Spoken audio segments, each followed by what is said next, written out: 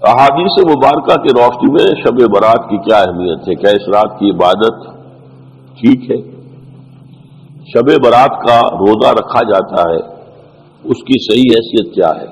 शब का रोजा तो कभी होता ही नहीं। कि आपने शब बारात का रोजा कैसे लिख दिया शब रात को कहते हैं ना।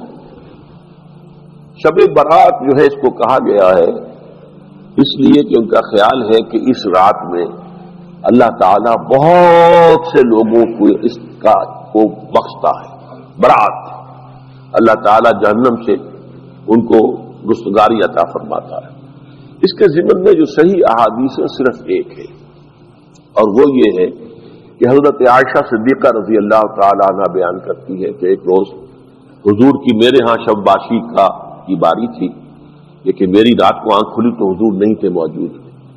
तो मुझे तशवीश हुई आप कहाँ गए तो मैं ढूंढती हुई वो या किसी और को आपने भेजा। बहरहाल, मुझे पूरी तफसील याद नहीं है। तो मालूम हुआ कि आप जन्नतुल बकी में गए हुए हैं और वहाँ पर इस्तफार कर रहे हैं। अल्लाह से और तमाम जो भी वहाँ पर मुर्दे दफन है, उनके लिए मफफरत की दुआ कर रहे हैं। बस ये साबित है।